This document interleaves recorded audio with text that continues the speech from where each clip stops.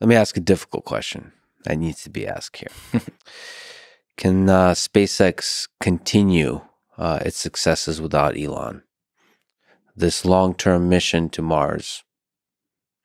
Uh, I think the discussion about Tesla and autopilot or robotics or Neuralink with brain computer interfaces is a question wholly separate from the SpaceX question um, because there's a lot of other competitors doing um, some different but amazing engineering that Tesla is doing in both autonomous vehicles, semi semi autonomy or full autonomy, and obviously in vehicle design and electric vehicles. There's a lot of people that are doing incredible brain computer interfaces. But it, while there is a lot of competitors to SpaceX, and we'll talk about many of them, they're doing amazing work. It seems like he's really driving progress here over the past 10 years. What do you think about that?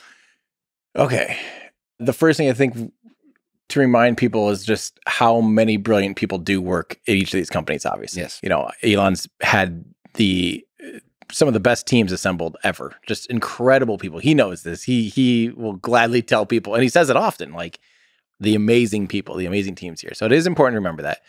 Um, that being said, like there is something to Elon's just super far forward, not taking no for an answer on things approach that and and and almost to his dismay i think he is afraid of the sunk cost fallacy so much that it almost almost gets to the border of like being you know like throw out everything before it's even we've we've known it or not but at the same time like it moves the needle mm-hmm. so fast so far so as far as the question of would SpaceX continue to like succeeding and be able to ultimately go to Mars without Elon the Mars thing, I think, would probably be hard to uphold without. I think a lot of that drive for Mars is from Elon.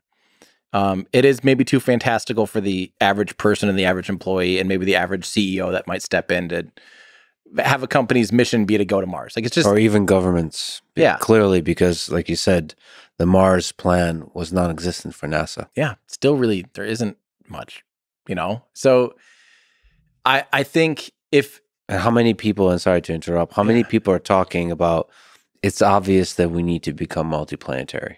Right. There's not a, there's the Mars Society and the, like serious yeah. leaders of engineering uh, efforts yeah. or, or, nations and so on. Yeah.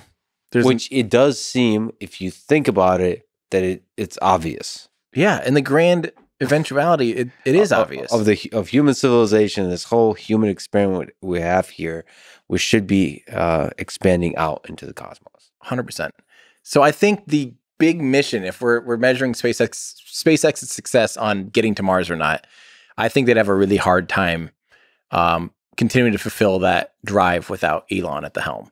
Um, now, I think there's a certain balance and beauty of Elon, specifically when it was Tesla and SpaceX, where Elon will go in you know, have mild tornadoes around the factory and the the engineering, you know, and like mix everything up and and things get sometimes just totally thrown together, you know, and and totally just like get it done just to to get it done and, and start moving that direction. And then he'll leave and go do that same thing, you know, at SpaceX or Tesla, vice versa. And then there's a little bit of a calm where people come back in and they fill in those gaps, you mm-hmm. know. And I think that's kind of always been a, a pretty healthy thing, honestly, is like I think if he is too focused on on any one thing, it almost is like he'll spin too much, you know, like it's mm-hmm. like the too many tornadoes. Yeah, too many tornadoes. and it, and I think it could almost be like you need someone to come back in and like you know like backfill almost because yeah. I've I've heard definitely stories of like like well probably a good a good example would be last um last well was that last year or two years ago 2022 yeah was that yeah or no 2021 they f- did the first full stack of the Starship Super Heavy and they, they called it the big surge. All of a sudden, like thousands of SpaceX employees, you know, came down to Starbase and they just started building like you wouldn't freaking believe. I mean, it's just things going crazy. It was actually in the middle of that first interview I did with him was in the middle of that surge.